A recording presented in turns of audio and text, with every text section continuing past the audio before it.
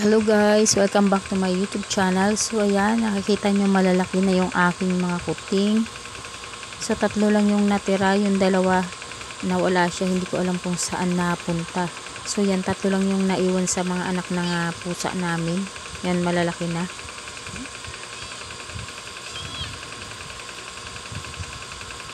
So yan guys, dumidede pa sa mami nila.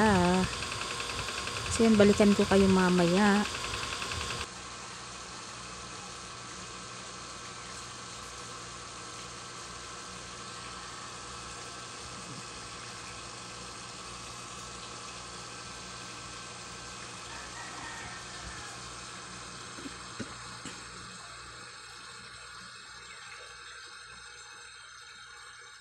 Hi guys, so ayan nagluluto ako ng kamote Q. Ayan, pia, niluluto ko muna yung kamote bago ko lagyan ng sugar. So ito yung naani kong kamote galing sa aking garden. So ngayon ay gagawin natin siyang kamote Q for merienda. So tamang tama guys, alas 9.30 na, saktong 10 may merienda yung aking mga alaga. So ayan, lalagyan na natin siya ng sugar kapag luto na yung ating kamote. So ayan na guys, nag-caramelize na yung sugar natin kaya hahaluin na natin yung ating kamote. So yan ready na yung ating kamote Q kamote Q galing sa ating ah, garden.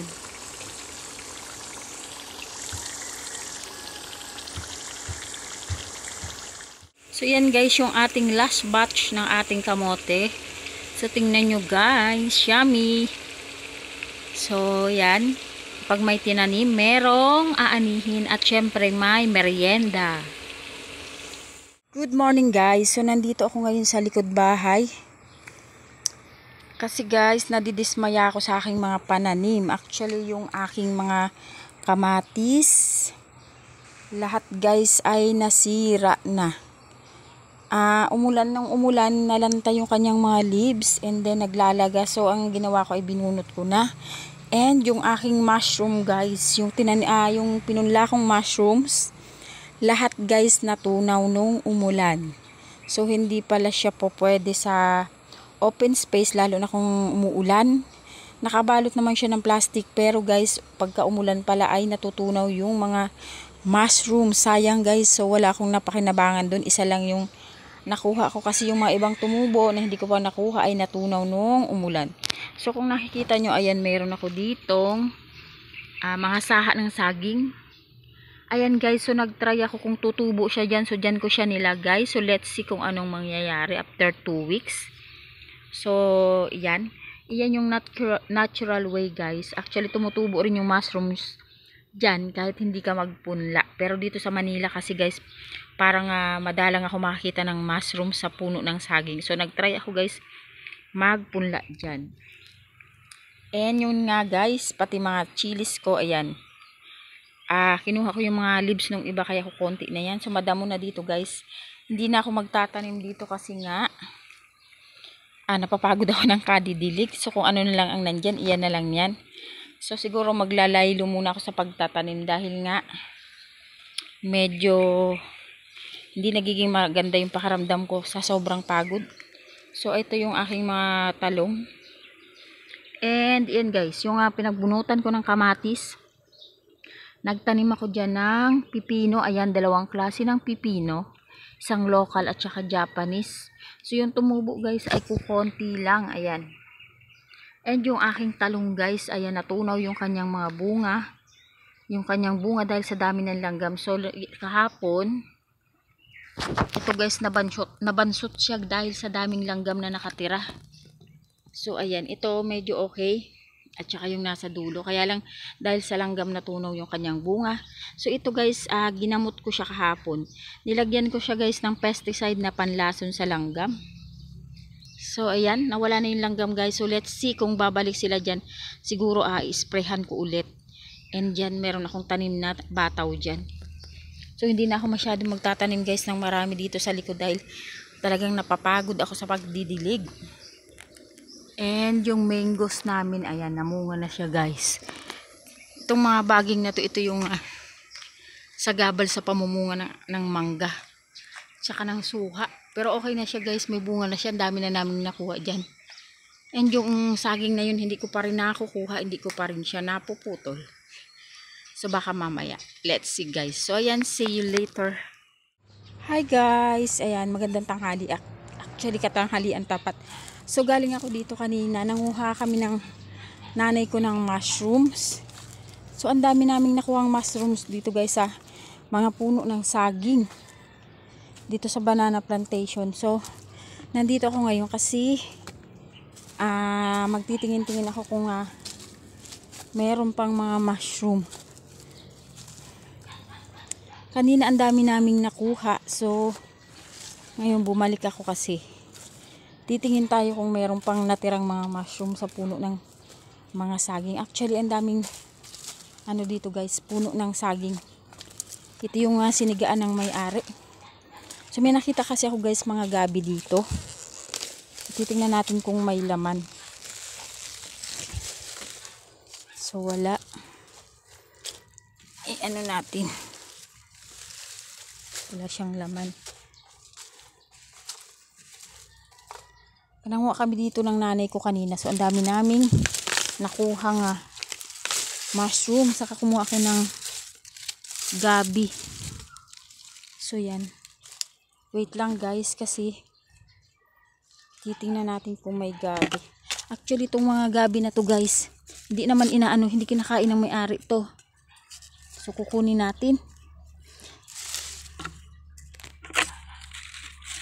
Kasi bala ko guys na mag luto ng ginatan.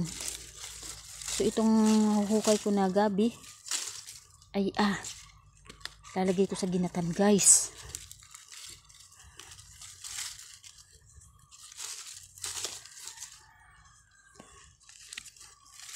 Yung nakuha namin kanina guys na mga mushroom sa kagabi. Actually, ano, yan o, tingnan nyo, ang laki o. Ang laki ng mga gabi. Yung may-ari nito guys, hindi naman nila kinakain to.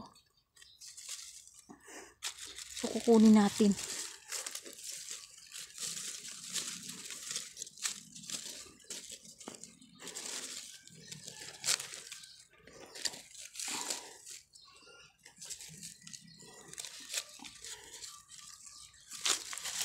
So, malaki siya guys, oh.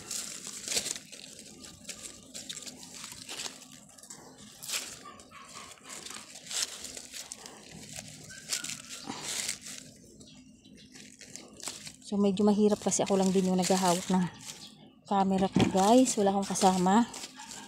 So, ayan eh. Tatayo natin guys ulit yung gabi. Kasi maglalaman pa yan. So, ito pa.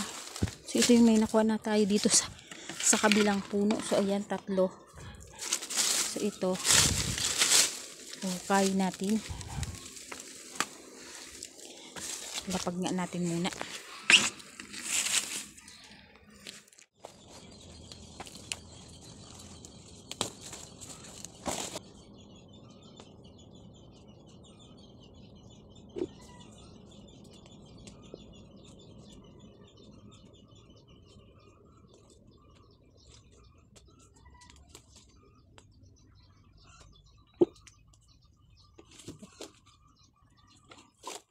Hindi ko na maalala guys kung saan ko kanina naiwan yung hinukay kong gabi.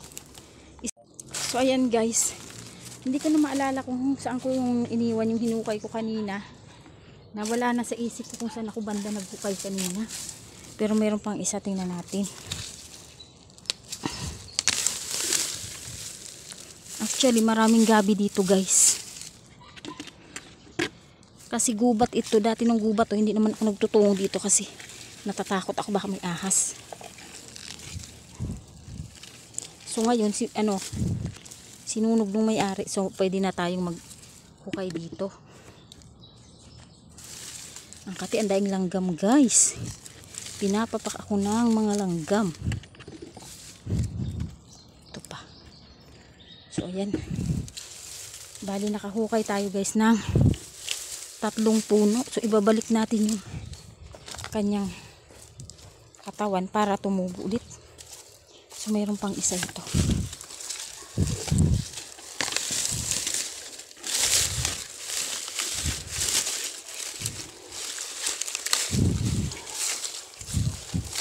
Ayan.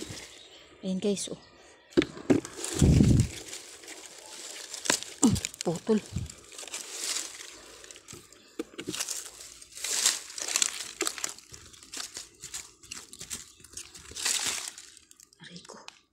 Ang daming langgam guys. Pinapapak ako ng mga langgam. Wala, nasaan na yung kaputol niya. Yun. So marami-rami guys yung nahukay ko. Hmm, ang haba. Kung makuha yung dulo niya, nasa ilalim ng saging guys. Ayun na oh. Ay, ang laki niya, nasa ilalim.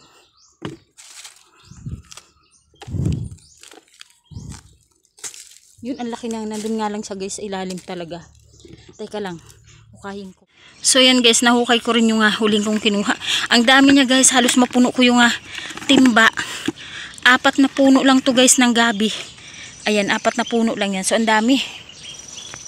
So mayroong halaman dito guys, ayan oh. Yang mga bulaklak na yan, actually nabibili yan. Maraming kumukuha niyan dyan. Dumadayo sila para kumuha ng halaman na yan. Actually malapit lang sa amin. Ayan yung bahay namin.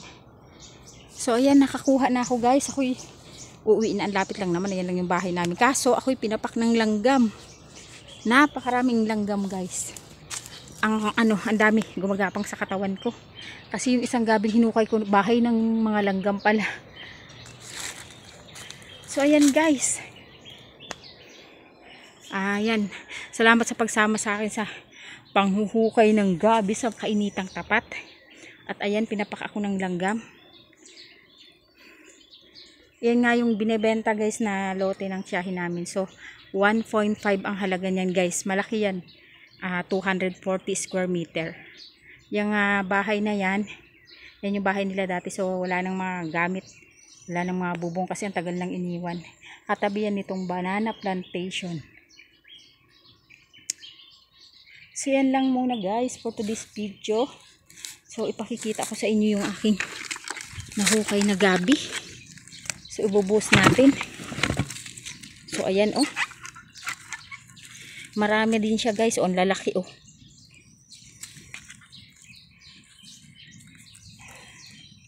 So, iba.